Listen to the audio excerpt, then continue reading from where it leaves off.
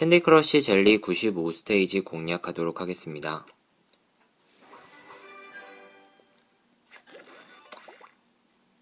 처음에 이런 matching을 만들게 되면 굉장히 많은 이득을 볼 수 있겠죠.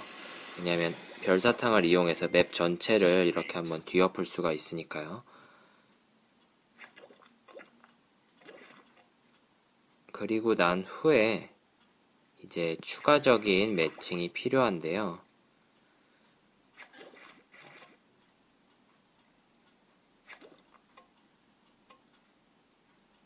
음, 이런 걸로 점점 넓혀 나가는 식으로 진행하는 게 좋을 것 같아요.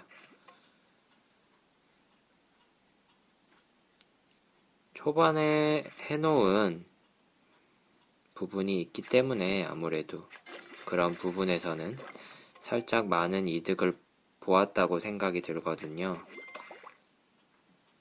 컴퓨터가 이제 매칭이 없는 상태가 되었으니까요.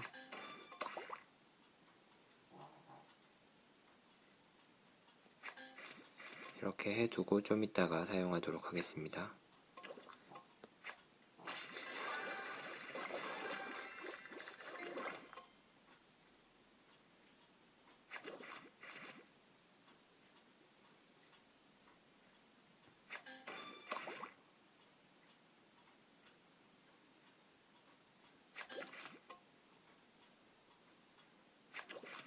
됐다.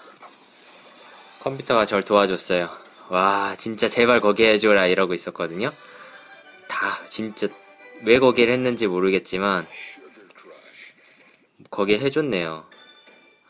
생각처럼 잘 풀렸던 스테이지는 아니었던 것 같아요. 무엇보다 다음 매칭에 의해서 자꾸자꾸 맵이 변화하기 때문에 좀 계획적인 운영이 어려웠던 게 깨기 어려웠던 그런 스테이지가 아니었나 생각이 듭니다. 수고하셨습니다.